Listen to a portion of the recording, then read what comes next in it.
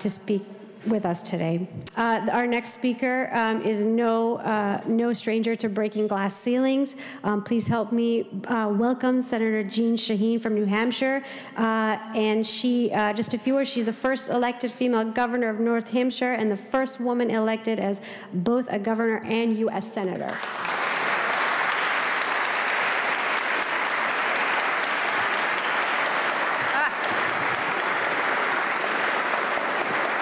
Thank you very much. Please, please be seated. Thank you. Thank you.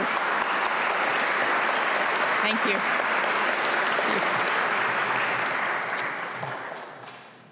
Well, we have a lot to talk about this year, huh? And a lot to celebrate. Um, despite the tragedy that's happening in Iran. And it's so nice to be here with my colleague, Senator Graham. As he said, we're working on a number of things with my former colleague, Senator Ayotte. Um, you know, in New Hampshire, we care a lot about what's happening in Iran, right? Um, and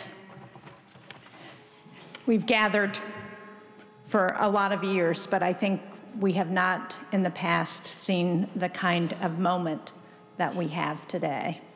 And in Iran, the people are taking to the streets, as we all know, to demand basic human rights, fundamental freedoms that we believe in in the United States, and that are really at risk around the world.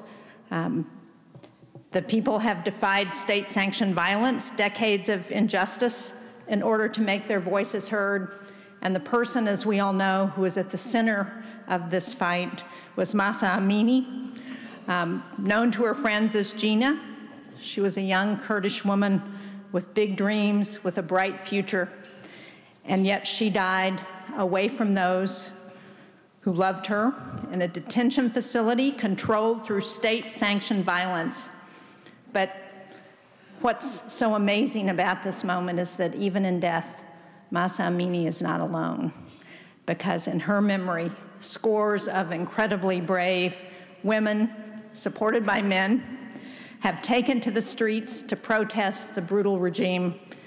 And they do this despite what we've seen are the consequences and the photos that are all around here show what the consequences are of um, their actions. But the women of Iran and people all over the world have rallied behind Mahsa Amini. They have a battle cry that has reverberated through the streets of Tehran and across Iran. Woman, life, freedom. Now, my Farsi is not good, I'm sure, but Jen Jian Azadi, is that close? Jen Jian Azadi.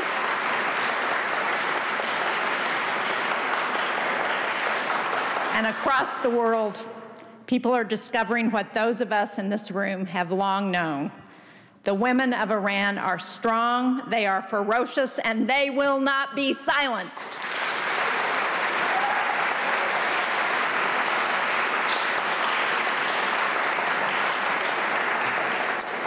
So the world is watching, and we are standing in awe of what's happening in Iran, but it's not enough to be impressed by their bravery. We must also stand in lockstep with the people of Iran as they struggle to take back control of their lives and their freedoms. And so I wanted you to know that yesterday in the Foreign Relations Committee, I'm, I'm the only woman who sits on the Foreign Relations Committee here in our Congress. We need to change that. But we passed a resolution commending the bravery, courage, and resolve of the women and men of Iran, demonstrating in more than 80 cities, risking their safety to speak out against the Iranian regime's human rights abuses. And I'm not going to read all of it because it's quite long, but there are some parts of it that I think you all will be interested in. It says, resolved that the Congress commends the bravery, courage, and resolve of the women and men of Iran who are participating in the current protests to defend their fundamental human rights, risking their safety to speak out against the human rights abuses committed by the Iranian regime.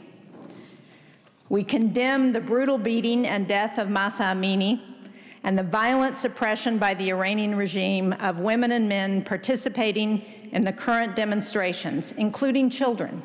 And we call for transparent accountability for all killings of protesters by Iranian security forces. We support internet freedom programs that circumvent the regime, including the Open Technology Fund, which provides support for VPNs and other alternatives that can be used to bypass attempts by authoritarian governments to censor internet access during times of protest.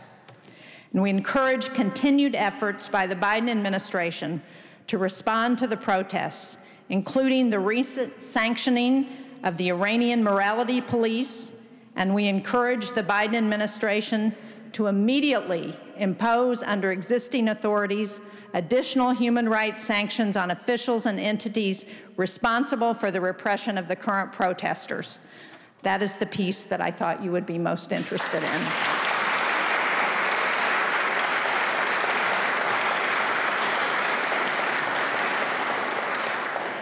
So, thank you for all that you are doing here to continue to point out the repression that's happening in Iran, your continued support for restoring freedom um, to the people of Iran, and for, for helping to make sure that the world is paying attention to what's happening now. Thank you all so much.